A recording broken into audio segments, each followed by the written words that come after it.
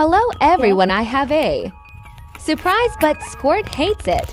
Sorry if talking in the background, my cousin is right by me. So here's the surprise. Isn't she so cute? She is a calico and a girl.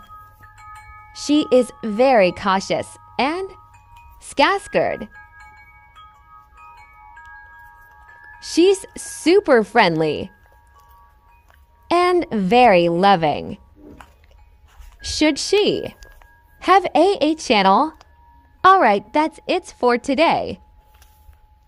Goodbye.